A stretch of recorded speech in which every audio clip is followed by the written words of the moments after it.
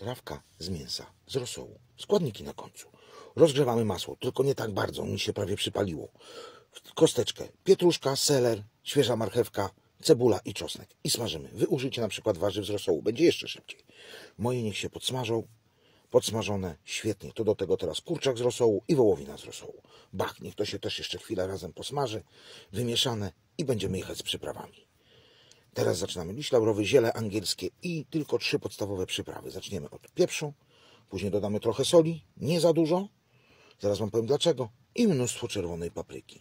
Soli dlatego nie za dużo, że jak to się wszystko zaprzyjaźni razem, poddusi, to ja dolewam pół litra rosołu. Rosół też już jest sobie słony. Resztę uzupełniam wodą i jeszcze później to dosmaczam, żeby miało fajny smak. Warzywka się szybko ugotowały, bo były w drobną kostkę, więc to szybko poszło.